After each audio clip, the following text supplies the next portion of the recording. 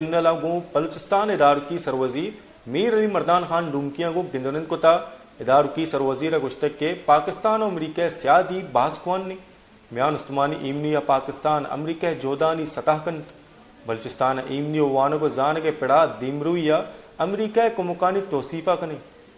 दिलगोश कन रिपोर्टर कोयटा में निगरान वज़ीर अला बलूचिस्तान मीर अली, मरदान खान डोमके की पाकिस्तान में तैनात अमरीकी सफीर डोनाल्ड, आर्मिन ब्लूम और कौंसल जनरल कॉनर ट्रेबल से मुलाकात हुई। मुलाकात में निगरान वज़ीर अला बलूचिस्तान का कहना था कि पाकिस्तान और अमरीका के माबीन देरपा सिफारती और दिफाई ताल्लुक इस्तेवार हैं। उन्होंने बताया, बलूचिस्तान रिवायतों का अमीन सूबा है। पाकिस्तान आलमी अमन के लिए अमेरिका की काविशें खुश आइंद है। बलूचिस्तान में अमरीकी हुकूमत और आवाम की खदमात के लिए अमरीकी मानवत को सराहते हैं। उन्होंने कहा, बलूचिस्तान में अमन तालीम खातन की मुआशी तरक्की और मवासलात समेत दीगर शोबों में जारी अमरीकी मामनत के मनसूबे अहमियत के हामिल हैं। बलूचिस्तान सरमाकारी के लिए मौदू खत्ता है। उन्होंने कहा, अमरीकी सरमाकारी से दो तरफा ताल्लुक को फ़रोग मिलेगा, जिस पर डोनल्ड ब्लूम का कहना था कि बलूचिस्तान और खैबर पख्तूनख्वा में अमनो फराहमी इंसाफ के मनसूबे पर काम कर रहे हैं। अमरीका और आलमी इदारों ने सिंध और बलूचिस्तान में गुजशत साल की तबाह कुन सैलाब के मुतासरीन की खुलकर मदद की है। उन्होंने बताया, बलूचिस्तान में सियाहत के फरोग और कदीम तहजीब को महफूज बनाने के लिए मुआवनत करेंगे। वश न्यूज़, कोयटा, बलूचिस्तान।